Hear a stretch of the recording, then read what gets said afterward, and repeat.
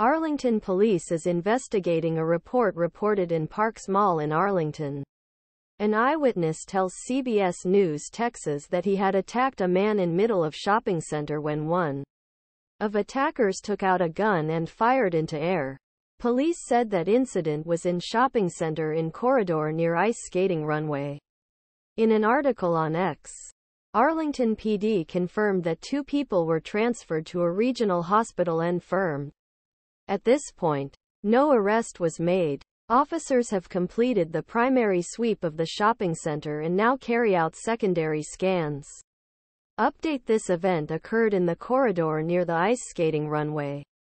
The primary sweep of the shopping center has been completed and civil servants are now running secondary scans. Arlington Police Department held a press conference on Thursday night in detail of the investigation.